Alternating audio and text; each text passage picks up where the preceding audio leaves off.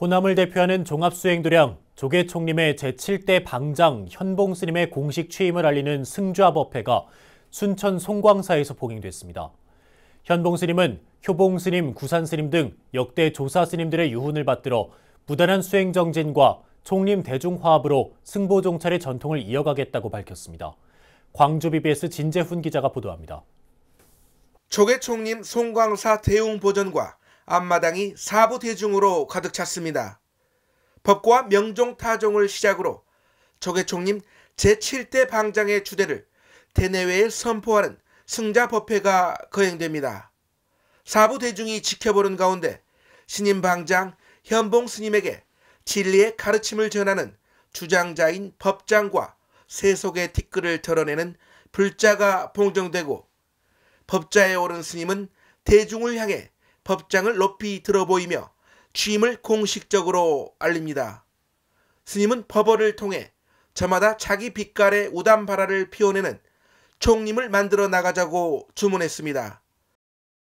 이제 우리 총림 대중들은 이 주장자 하나의 모든 분별과 망상과 시비와 갈등을 모두 거두어서 모두 하나가 되어서 이를 의지하여 서로 절차 탁마하며 이 조개 총념의 숲에서 각자의 소임을 다하며 자기 빛깔의 오단마라를 피워내는 총림을 만들도록 합시다.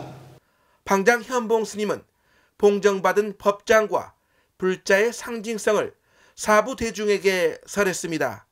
산은 높고 물은 길게 흘러갑니다.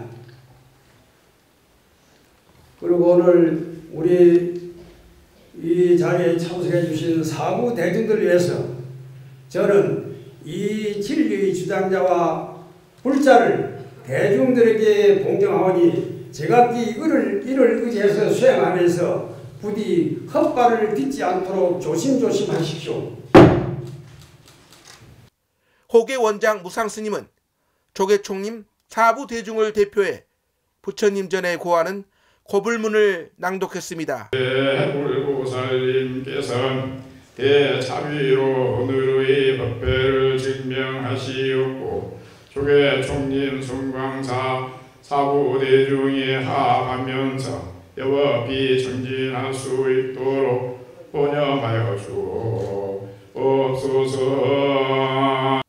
법회에는 선우사주지 경우스님을 비롯해 이정현 국회의원, 장기표 신문명 정책연구원장 외 각계 인사와 불자 등 사부 대중 2천여 명이 운집해 현봉 스님의 방장 취임을 축하했습니다. 현봉 스님은 지난 1일 송광사 산중총회에서 방장 후보로 추대된 뒤 조계동 중앙총회에서 만장일치로 추대 결의안이 통과됐습니다. 현봉 스님은 1949년 경남 사천에서 태어나 1974년 구산 스님을 은사로 출가했으며 1975년 송광사에서 구산 스님을 전계사로 비구계를 수지하고 수선사와 백년사, 해인사, 통도사, 봉암사 등 제방선원에서 정진했습니다. 스님은 조계총림 윤하와 조계동 중앙종회 의원과 법규위원, 광주청과학원 이사, 송광사 주지, 조계동 재심호계위원 등을 역임했습니다. 보성 스님에 이어 제7대 방장을 맞이한 조계총림. 새 방장 취임을 계기로 명실공히 승보 종찰의 위상을 드높이는 새로운 정기가 마련될 것으로 기대됩니다. 순천 송광사에서 BBS 뉴스 진재훈입니다.